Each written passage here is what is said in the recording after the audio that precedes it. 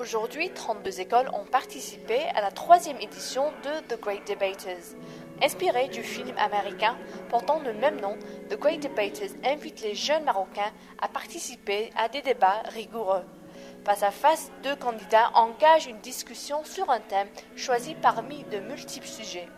Économie, politique, langue, religion, art, toutes les thématiques sont au menu pour départager les meilleurs. Découvrons ensemble les objectifs de cette journée particulière. Au maximum possible, la souffrance de l'animal, la souffrance du rat ou du, du, moustique qu'on veut injecter.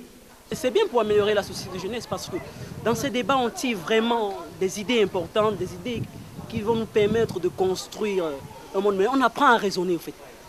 Parce que pour défendre une position, il faut apprendre, il faut d'abord critiquer l'adversaire. Donc euh, ça, nous ouvre les horizons, ça, permet vraiment aux futurs lauréats de, savoir prendre une position et, de s'appuyer sur des exemples précis. Les, élèves ont essayé de parler avec liberté, avec stratégie, ils ont fait de leur mieux. Et honnêtement, j'ai assisté à deux matchs où euh, on se croyait finalement au Parlement français, hein, où les candidats s'exprimaient avec talent et avec qualité un discours concis, clair et cohérent.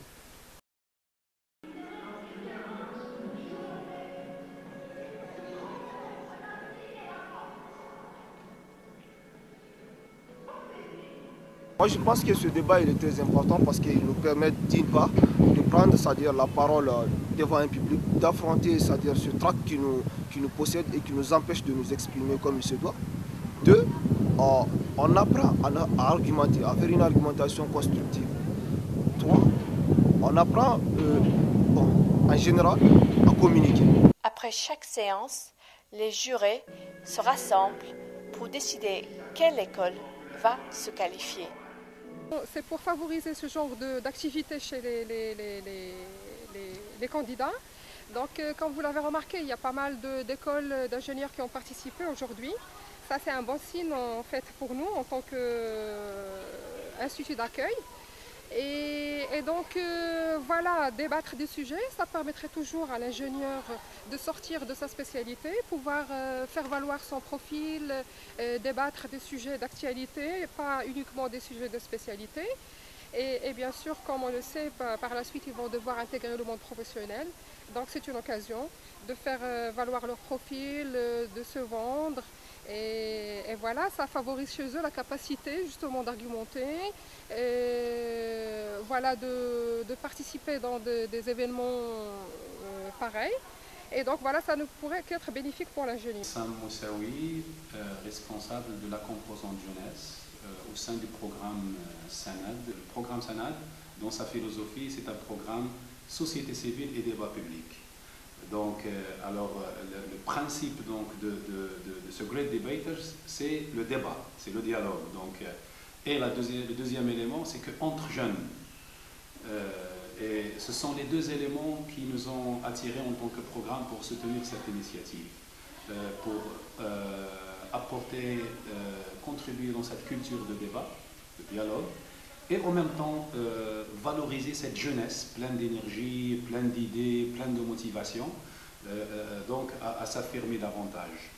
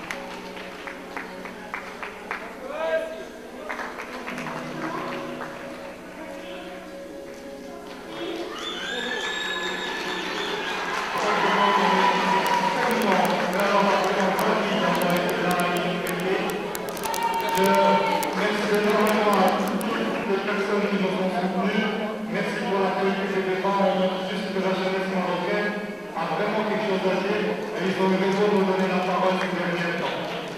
Merci beaucoup. Merci.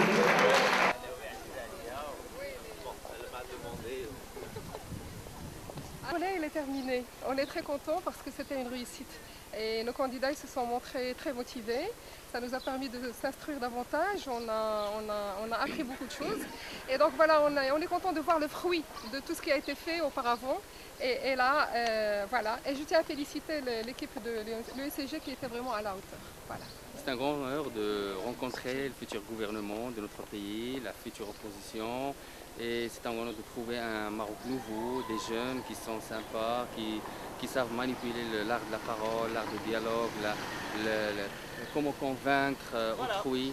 Et au niveau de, de, la diplomatie non officielle, on peut dire que ces futurs jeunes peuvent jouer un rôle extrêmement intéressant au niveau des institutions, aussi bien nationales qu'internationales. C'est un plaisir.